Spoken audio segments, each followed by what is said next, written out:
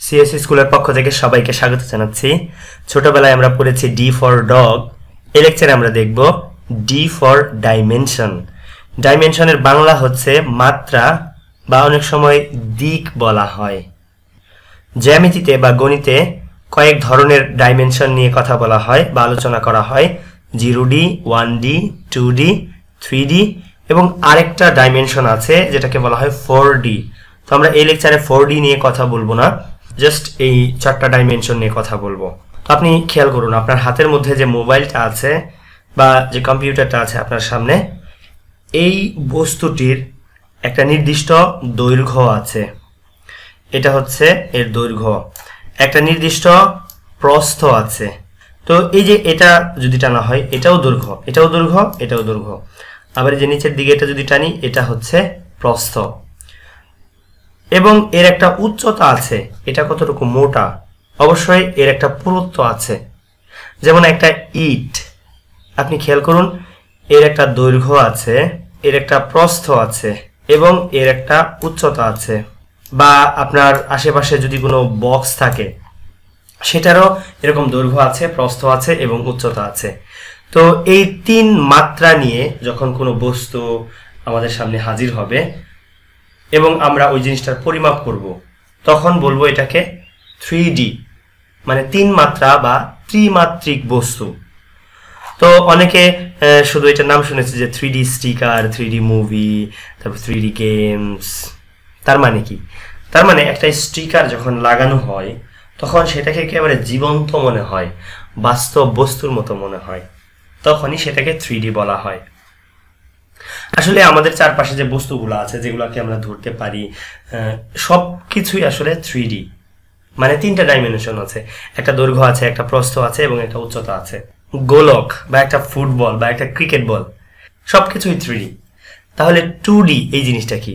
Two হচ্ছে যখন আমরা কোনো কিছুকে দৈর্ঘ্য এবং প্রস্থ দিয়ে মাপি, তখন সেটাকে টু বলা হয়। যেমন একটা খেলার মাঠ এখানে কতজন দর্শক ধরতে পারে?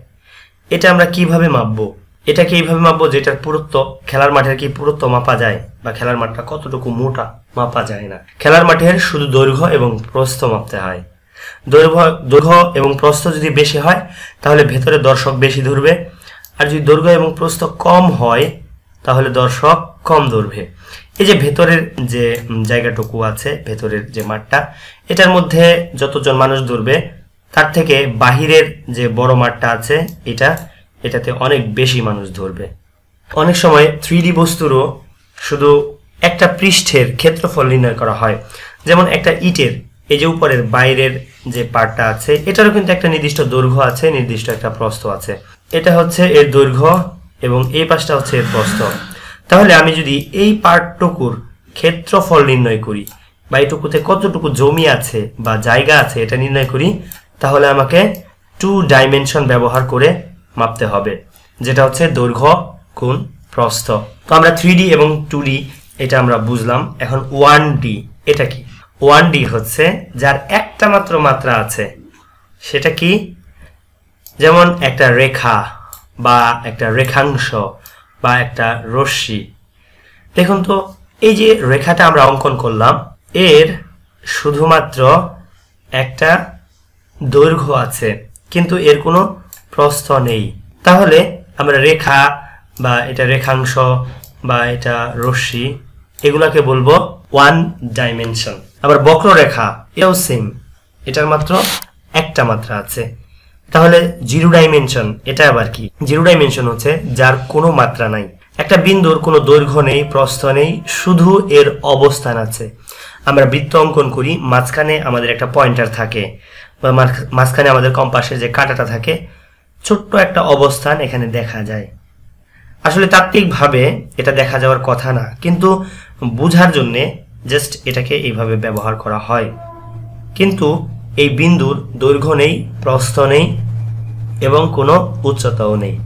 তো আশা করি বুঝতে পেরেছেন, zero D, one D, two D, three D কি।